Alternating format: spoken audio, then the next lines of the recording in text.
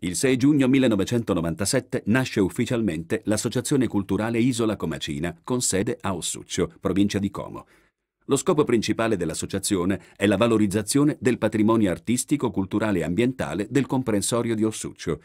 L'associazione opera sul territorio a vari livelli e con varie iniziative.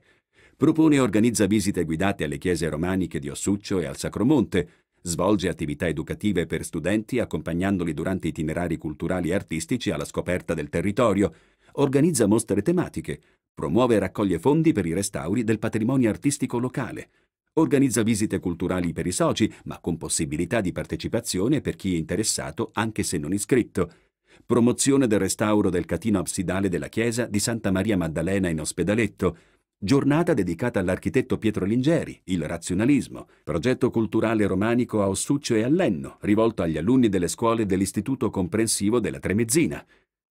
Ossuccio, il tempo, la memoria e il gusto del bello, mostra fotografica di luoghi, persone, mestieri e tradizioni.